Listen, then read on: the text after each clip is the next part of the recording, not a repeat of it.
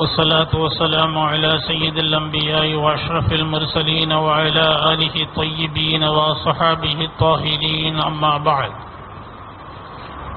فقد قال الله تعالى في محكم التنزيل وفي الفرقان الحميد أعوذ بالله من الشيطان الرجيم بسم الله الرحمن الرحيم.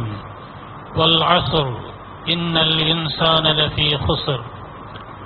إلا الذين آمنوا وعملوا الصالحات وتواصوا بالحق وتواصوا بالصبر.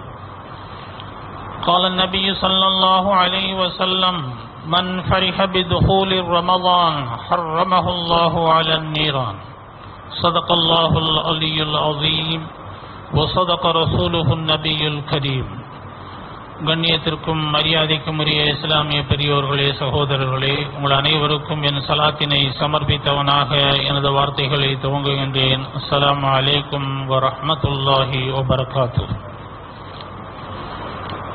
அல்லாஹு ஜல்லஷானோ தாலாவும் அண்ணலம் பெருமானார் சல்லல்லாஹு அலி வசல்லம் அவர்களும் எதை எடுத்து நடக்க வேண்டும் என்று நமக்கு ஏவியிருக்கின்றார்களோ அவைகளை எடுத்து நடப்பதற்கும் எவைகளை விட்டும் தவிர்ந்து கொள்ளுமாறு நம்மை தடுத்திருக்கின்றார்களோ அவைகளை விட்டும் தவிர்ந்து கொள்ளுமாறும் எனக்கும் உங்களுக்கும் நான் வசிய செய்கின்றேன். அல்லாஹ் ஜல்லஷானோ தாலா நல்லருள் தௌஃபீக் செய்தருள் புரிவானாக.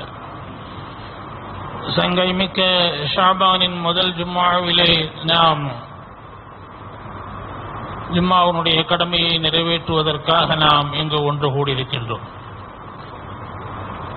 அண்ணலம் பெருமானா சல்லல்லாஹு அலிவசல்லம் அவர்கள் ரமதானுக்கு இரண்டு மாதத்திற்கு முன்பே ரமலானை அடைய செய்வதற்காக பிரார்த்தித்த பிரார்த்தனையை நாம் கேட்டு வந்திருக்கின்றோம். சத்திய சஹாபிகளுடைய வரலாற்றை பார்க்கும் பொழுது அவர்கள் ஆறு மாதத்திற்கு முன்பே ரமலானை அடைவதற்காக அவர்கள் பிரார்த்தித்ததான பதிவு இருக்கின்றது. ஆறு மாதம் ரமலானை அடைவதற்கான பிரார்த்தனை செய்து ரமலானை அடைந்த பின்பு ரமலானுக்கு பின்பு ஆறு மாதம் அந்த ரமணாலில் செய்த அமல்களை ஏற்றுக்கொள்வாயாக என்று பிரார்த்தித்ததாக சஹாபினுடைய வரலாற்றை பார்க்கும் பொழுது வருடம் முழுக்க அவர்கள் ரமலானின் சிந்தனையாகவே இருந்திருக்கின்றார்கள் என்பதை பார்க்கின்றோம். அனலம் பெருமானா சல்லல்லாஹு அலி வசல்லம் மேற்கூறிய ஹதீஸிலே அவர்கள் கூறியிருக்கக்கூடிய கருத்து ரமலான் நுழைவதை கொண்டு யார் உள்ள உவகை கொள்கின்றார்களோ அவர்களுக்கு அல்லாஹு ஜல்லஷானோ தாலா நரகத்தை ஹராமாக்குகின்றான். மன் ஃபரிஹ பிதுஹூலி ரமலான் ஹர்ரமஹுல்லாஹு அலன் நீரான் என்று சொன்னார்கள் என்றால் ரமலான் நுழைவதை கொண்டு உள்ளம் மகிழ்ச்சி அடைவதற்கான காரணம் என்ன என்றால் ரமலானில் அல்லாஹு ஜல்லஷானோ தாலா அவன் தனது தகுதிக்கேற்ப உண்டான ரஹ்மத்துடைய மழையை பொழிய வைக்கின்றான். ரஹ்மத்தால் மகபிரத்தால் நரக விடுதலையால் இப்படி மனித குலத்திற்கு இதற்கு முன்னுண்டான வாழ்ந்த சமுதாயம் ஆரோக்கியமும் ஆயுளும் அதிகம் உள்ள சமுதாயங்கள் செய்ய செய்வதற்கு ஈடாக குறைந்த ஆயுளில் உள்ள இந்த உம்மத்தே முகம்மதியாவிற்கு அல்லாஹு ஜல்லஷானோ தாலா ஒரு பெரும் பாக்கியமாக ரமலானை அல்லாஹு ஜல்லஷானோ தாலா அடைய செய்கிறான். அப்ப அந்த ரமலான் எப்படிப்பட்டது என்றால் நாளை மாஷரிலே நாம் அறிந்த ஒன்றுதான். மாஷரிலே பிறருடைய ஹக்கிலே செய்யக்கூடிய தவறுகளுக்காக ஹுகூக்குல் இபாதிற்காக செய்த தவறின் காரணமாக நமது நன்மைகள் பிடுங்கப்பட்டு பாதிக்கப்பட்டவருக்கு கொடுக்கப்படும் பற்றாக்குறைக்கு அவருடைய தீமையை வாங்கி ஹுகூக்குல் இபாதிலே குறை செய்தவர்களுக்கு கொடுக்கப்படும். ஆனால் நோம்பை மாத்திரம் அல்லாஹு ஜல்லஷானோ தாலா பங்கு வைக்க மாட்டான். நோம்பு அது நமக்கான கேடயமாக நமக்கான ஒரு மிஞ்சு பொருளாக அது இருந்து கொண்டிருக்கும். அப்படிப்பட்ட பாக்கியமான ரமலானை அடைவதற்கு. அப்ப அந்த ரமலானுடைய நோன்பு எத்தகைய தரத்தில் இருக்க வேண்டும்? அதற்கான முன் பயிற்சி களமாகத்தான் இந்த ஷாபான் மாதம் இருக்கின்றது. ரமலானிலே ஷைத்தானுக்கு விலங்கிடப்படுகின்றதே தவிர நப்சிற்கு விலங்கிடப்படவில்லை எனவே நப்சை பக்குவப்படுத்துவதற்கு இந்த மாதம் நமது ஒரு பயிற்சி களமாக வேண்டும். அப்துல்லாஹிபன் மசூத் அலி ரலியல்லாஹு அவர்களிடம் நீங்கள் எப்படி ரமலானை வரவேற்பீர்கள் எப்படி எதிர்கொள்வீர்கள் என்று கொள் சொன்ன பொழுது அப்துல்லாஹிபன் மசூத் அலி அல்லாஹு அன்பு அவர்கள் கூறுவார்கள் நாங்கள் எங்களுடைய உள்ளத்தினுடைய கபாடங்களையும் குபாடங்களையும் பிறர் மீது உண்டான தீய எண்ணங்களையும் துருவி துருவி ஆராய்வதையும் குறை கூறுவதையும் எல்லாவற்றையும் கலற்றி எரிந்து விடுவோம் என்று அப்துல்லாஹிபின் மசூத் அலி அல்லாஹு அவர்கள் கூறுகின்றார்கள். எனவே எப்படி ரமலானில் நோன்பு பிடிப்பதற்கு உடல் ரீதியாக இந்த ஷாபானிலே நபிலான சுன்னத்தான நோன்புகளை பிடித்து உடல் ரீதியான ஒரு பயிற்சியை கொடுக்கின்றோமோ அதுபோன்று உள்ளத்திற்கும் பயிற்சியாக இந்த ஷாபான் மாதத்திலே நாம் அனைவரையும் மகிழ்வித்து எல்லோருடனும் நட்புடனும் அழகுடனும் பழகுவதற்கான வாய்ப்பை இந்த மாதத்தினுடைய பயிற்சியிலிருந்தே நாம் ஏற்றுக்கொள்ள வேண்டும். அண்ணலம் பெருமானா சல்லல்லாஹு அலைஹி செல்லம் அவர்கள் கூறினார்கள் ரமலானை எங்களுக்கு சலாமத்தாக்கி வைப்பாயாக. ரமலானும் எங்களை சலாமத்தோடு அது எங்களை கடந்து செல்ல வேண்டும். எனவே ரமலான் நம்மை கடந்து செல்லும் பொழுது ரமலான் என்றாலே கரிக்கக்கூடியது. எதை கரிக்கக்கூடியது? நாம் பெரும்பாவங்கள் செய்யாவிட்டாலும் சிறிய பாவங்களுடைய குமியல்கள் நமக்கு இருக்கின்றன. அவைகள் அனைத்தையும் கரித்து ரமலான் நம்மை கடந்து செல்லும் பொழுது பாவமற்றவனாக பரிசுத்தவானாக நாம் இருப்போமே ஆனால் தான் ரமலானை நாம் கண்ணியப்படுத்தினோம். ரமலானை நம்மை அடைந்தது என்பதற்கான அர்த்தமே அதனுடைய பொருளே அதுதான். வெறும் பட்டினி கிடப்பதினால் தாகத்திற்கும் பசியோடு இருப்பதினால் அல்லாவிற்கு எந்த விதமான லாபம் இல்லை. நம்முடைய ஐம்புலங்களும் உள்ளங்களும் உணர்வுகளும் அனைத்தும் நோன்பு நோக்க வேண்டும். பத்தினித்தனமாக நோன்பை நோக்க வேண்டும். ஆனாலும் பெருமானார் சல்லல்லாஹு அலிவ செல்லம் அவர்கள் கூறினார்கள் யார் சிறந்த வணக்கவாளி? இரவு மின்றும் இரவு முழுக்க நின்று வணங்குபவனா பகல் முழுக்க நோன்பு நோற்பவனா குர்ஆன் ஓதுபவனா என்று அடையாளப்படுத்தவில்லை. இத்தகில் மகாரிம தகுன் தடுக்கப்பட்ட அனைத்தையும் தவிர்த்து விடுங்கள். நீங்கள் தான் வணக்கவாளி என்று வணக்கசாலிக்கான அடையாளத்தை நமக்கு சொல்லித் தரும் பொழுது தடுக்கப்பட்டவைகளை அனைத்திலிருந்தும் நாம் தவிர்ந்து நடக்க வேண்டும் தான் ரமலானுக்கான முன் பயிற்சி களமாக இந்த ஷாபானை. எப்படி ரஜபிலே விதை விதைத்து இந்த ஷாபானிலே அதை தழைத்தோங்க செய்தால் தான் ரமலானிலே நீங்கள் மகசூல் செய்ய முடியும் நன்மையை அடைய முடியும். வெறும் பட்டினியாலும் தாகத்தாலும் அல்ல என்பதை அண்ணலும் பெருமானார் ஸல்லல்லாஹு அலைஹி வஸல்லம் அவர்கள் நமக்கு சொல்லி காட்டுவார்கள். எனவே பாவமற்ற ஒரு ரமலானை ஐம்புலன்களும் உணர்வுகளும் உள்ளங்களும் சேர்ந்து நோன்பு பிடிக்கக்கூடிய அந்த நோன்பிற்கான பயிற்சியை இந்த ஷாபான் மாதத்திலிருந்தே நாம் ஆரம்பித்து அதற்கான பயிற்சியை நாம் மேற்கொள்ள வேண்டும் என்பதை பெருமானா சல்லல்லாஹு அலைய செல்லம் அவர்கள் மற்ற எல்லா மாதத்திலும் இல்லாத ஒரு வணக்கத்தை இந்த ஷாபானிலே நோன்பாலும் அமல்களாலும் ஹதீஸ்களிலே வருகின்றது வரிந்து கட்டிக்கொண்டு அமல் செய்வார்கள் என்று வருகின்றது. ஏனென்றால் அத்தகைய பாக்கியமிக்க ரமலானை அப்படி பரிசுத்தமான அந்த நோன்பை அடைவதற்கு இந்த மாதத்தில் ஏற்ப ஏற்படக்கூடிய நமது மாற்றங்கள் தான் தொழுகையை கடந்த மாதம் பரிசாக தந்து அந்த மேராஜை கடந்து வந்திருக்கின்றோம். அந்த தொழுகையினுடைய முக்கியத்துவத்தை சகாபிகள் எந்த அளவிற்கு விளங்கி வைத்திருந்திருக்கார்கள் என்ப ஹதீசனுடைய கிரந்தங்களில் ஏராளமாக காண கிடைக்கின்றன. அபூபக்கர் சித்திக் ரலியல்லாஹு தால அனு அவர்களுக்கு நானூறு ஒட்டகங்கள் திருடு போய்விட்டது.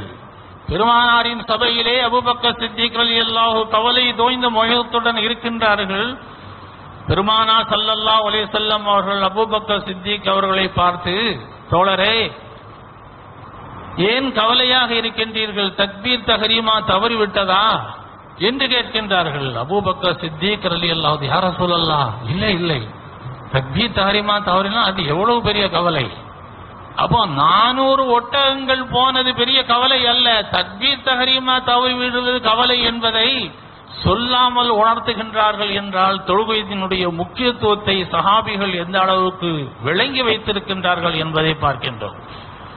எனவே ரமலானை நாம் மகத்துவப்படுத்துவதற்கு இந்த மாதமே பள்ளிகள் நிறைந்து வழிய வேண்டாமா? பெருமானா சல்லல்லாஹு அலி செல்லம் அவர்கள் தஜ்ஜாலுடைய வருகையை குறித்து சஹாபிகளுக்கு மத்தியிலே பேசுகின்றார்கள். தஜ்ஜால் வருவான் இறுதி நாளுடைய அடையாளமாக ஒரு நாற்பது நாள் இருப்பான். அது நீண்டு நெடிய ஒரு ஹதீஸ். சொல்ல வந்த கருத்து அவன் வந்த முதல் நாள் ஒரு நாள் ஆனது ஒரு வருடத்திற்கு சமமாகும் என்றார்கள்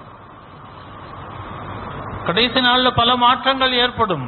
எப்படி சூரியன் கிழக்கிலிருந்து மேற்கு உதிக்கும் உதிக்கும் என்று ஹதீசுகள் வருகிறது அல்லவா? அப்போ ஒரு நாள் சகிகான எல்லா கிரந்தங்களிலும் வருகிறது. ஒரு நாள் ஒரு வருடத்திற்கு சமம் என்றார்கள்.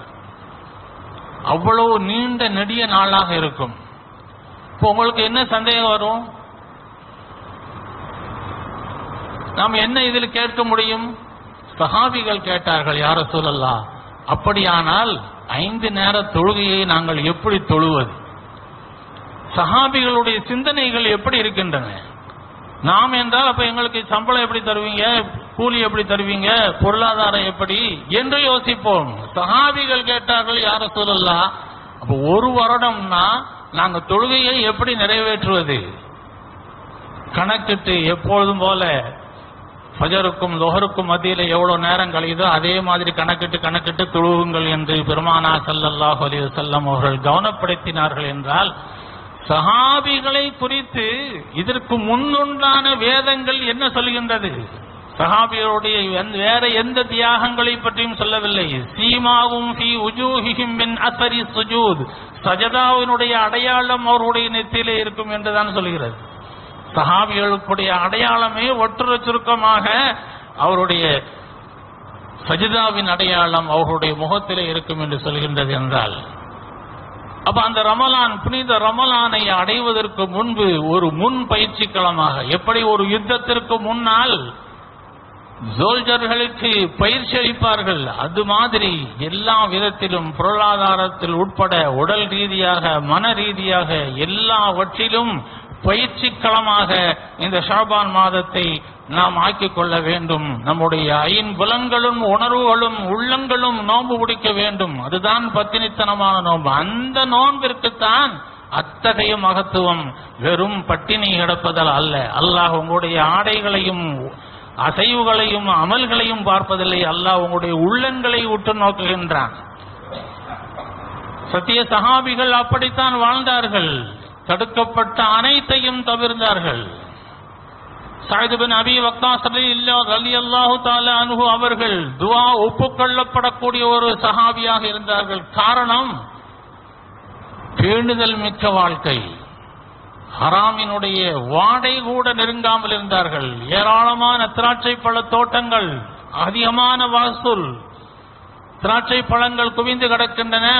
விற்பதற்கு வாங்குபவர் யாரும் இல்லை. அவைகள் எல்லாம் அழிந்து விடக்கூடிய ஒரு சூழ்நிலையில் தன்னுடைய பணியாளனை அதை விற்பதற்காக முயற்சிக்குமாறு சொல்லும் பொழுது மது தயாரிப்பவர்கள் அதை விற்பனை வாங்குவதற்கு ரெடியாக இருக்கின்றார்கள் என்று சொன்ன பொழுது உடனே பள்ளத்தை தோண்டி அதை அத்தனை திராட்சைகளையும் புதைத்து விட சொன்னார். ஒரு ஹராமிற்கு துணை போகக்கூட சகாபிகள் தன்னுடைய முதல்களை அழிப்பதற்கு அவர்கள் தயாராக இருந்தார்கள். எனவே இத்தகில் மகாரிம ஹராமை தவிர்த்து கொள்ளுங்கள். நீங்கள் தான் வணக்கசாலியில் சிறந்த வணக்கசாலி என்று எம்பெருமானா சல்லல்லாஹ் அலி செல்லம் அவர்கள் சொல்வதற்கொப்ப இருந்ததின் காரணமாக கேட்டவுடன் துவா பலிக்கக்கூடிய பாக்கியத்தை பெற்றார்கள் சாது அபி வக்காஸ். அல்லாமா இபுன் ஜௌஷி அவர்கள் தன்னுடைய வரலாற்றிலே ஒரு பதிவை செய்வார்கள். பகதாதிலே ஒரு கணவன் மனைவி ஒரு மகன் ஜவுளி வியாபாரம் நல்ல விதமான முறையிலே அவர்கள் வாழ்ந்து கொண்டிருக்கும் பொழுது மனைவிக்கு ஒரு சிறு சந்தேகம்.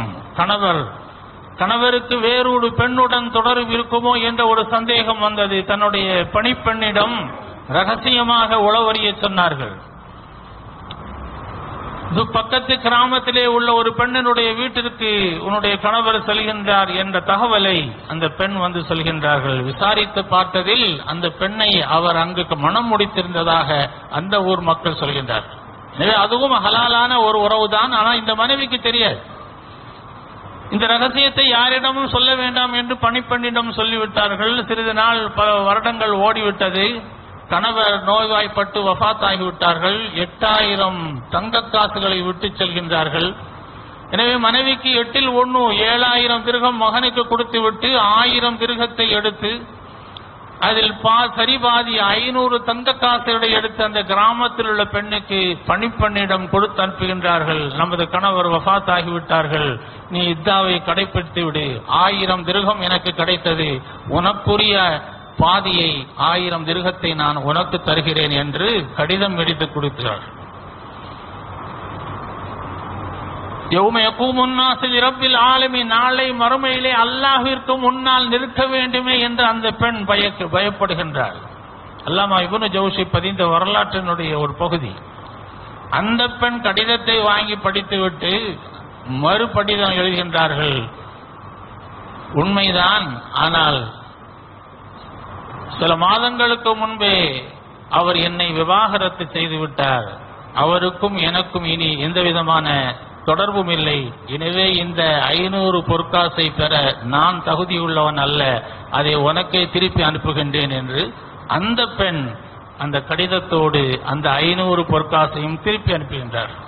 இப்படித்தான் தாபியங்களுடைய வாழ்க்கை இருந்தது.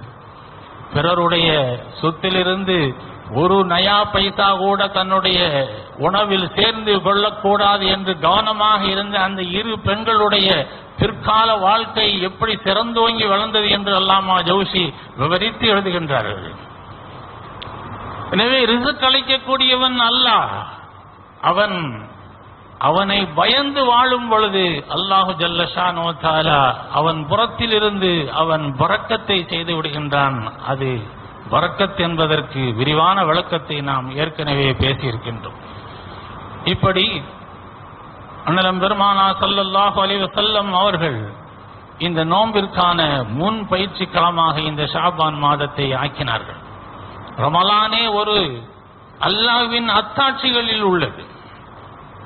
ரமலான் நோன்பே இறைவனுடைய ஒரு அத்தாட்சி. சர்வதேச தலைவர்கள் எல்லாம் ஒன்று கூடி நாளை ஒரு நாள் எல்லோரும் உலக மக்கள் முழுக்க நீங்கள் பட்டினி இருங்கள் என்று கடுமையான சட்டம் போட்டாலும் ஒரு விழுக்காடு கூட அதை கடைபிடிக்க மாட்டார்கள். ஆயிரத்தி நானூத்தி சொச்ச வருடங்களுக்கு முன்பு.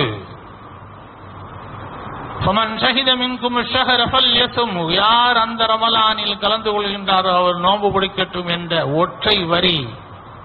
இன்ஷா அல்லாஹ் ரமலானில் பல பல மில்லியன்கள் நோன்பு இருப்பதற்கு மக்கள் தயாராக இருக்கின்றார். இதுவே இறைவனுடைய அத்தாட்சிகளில் உண்டாகும் எனவே ரமலான் ஒரு சாதாரணமான ஒரு விஷயம் அல்ல.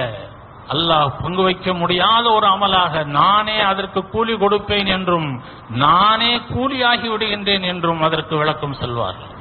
அப்படி ஒரு மகத்தான அந்த நோன்பை மாண்பை பெறுவதற்கு நம்முடைய மனத்தாலும் உடலாலும் இந்த மாதத்திலே நாம் தயாராக வேண்டும்.